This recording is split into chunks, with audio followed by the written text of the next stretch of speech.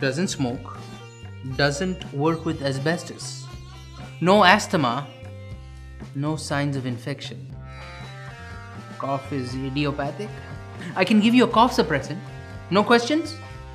Good. Good.